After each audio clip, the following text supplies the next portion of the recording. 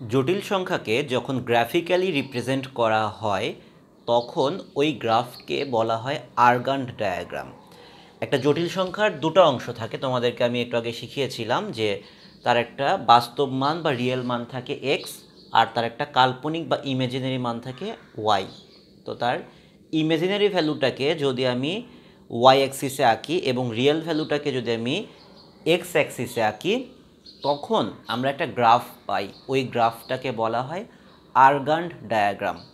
ধরো, আমি একটা জটিল সংখ্যার কথা বলছি Z equal to three plus two i তার মানে রিয়েল ভ্যালু অফ জেড সেটা হবে থ্রি আর ইমেজিনারি ভ্যালু অফ জেড সেটা হবে টু আই এটাকে যদি আমি আর্গান ডায়াগ্রামে আঁকার চেষ্টা করি, সে তিন ঘর ডান দিকে যাবে এক্স বরাবর তিন ঘর যাবে দুই ঘর বরাবর উপরের দিকে যাবে।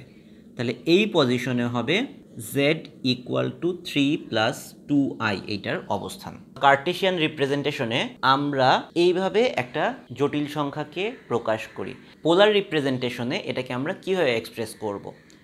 পোলার রিপ্রেজেন্টেশনে আমরা তিন রকমের এক্সপ্রেশন ইউজ করি। একটা হইতে পারে আর অ্যাঙ্গেল থেটা এইটা তোমাদের এইচএসসির সিলেবাসের বইতে খুব একটা উল্লেখ করা হয় নাই। তোমাদের এইচএসসি সিলেবাসে বেশি উল্লেখ করা হয়েছে এইটা। R into cos theta plus i sine theta আর একটা রিপ্রেজেন্টেশন হচ্ছে r e to the power i theta এটা মূলত তোমরা ইউনিভার্সিটিতে ওঠার পর বেশি ইউজ করবে।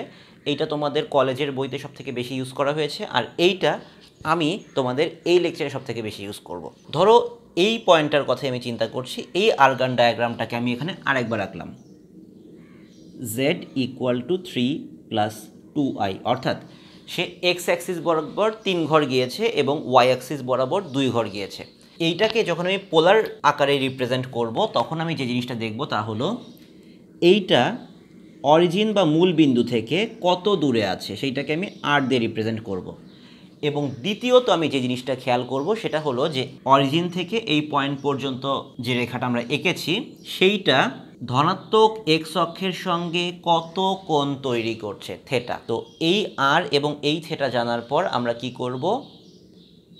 আর অ্যাঙ্গেল থেটা এই আকারে আমরা জেডকে লিখতে পারি। আর into cos theta plus i sine theta এই আকারে লিখতে পারি এবং আর e to the power i theta এই আকারে আমরা লিখতে পারি। এ তো গেল পোলার রিপ্রেজেন্টেশনের পরিচয় আর কার্তেশীয় রিপ্রেজেন্টেশনের পরিচয়। কার্তেশীয় স্থানাঙ্কটা কি? এই বিন্দুটার ক্ষেত্রে মূল বিন্দু থেকে সে কতটুকু ডানে সরে গিয়েছে সেই ভ্যালুটা হলো এক্স এবং কতটুকু উপরে উঠে গিয়েছে সেই ভ্যালুটা হলো y z equals to x plus i y R polar রিপ্রেজেন্টেশনের ক্ষেত্রে আমরা কোন জিনিসটা দেখি? যে সে মূল বিন্দু থেকে কত দূরে আছে? আর এবং এই রেখাটা পজিটিভ এক্স অ্যাক্সিসের সঙ্গে কত কোণ উৎপন্ন করছে? সেটা হলো থেটা এখন আমরা যে জিনিসটা দেখব, সেটা হলো পোলার এবং কার্টেশিয়ানের পারস্পরিক রূপান্তর কীভাবে হয়?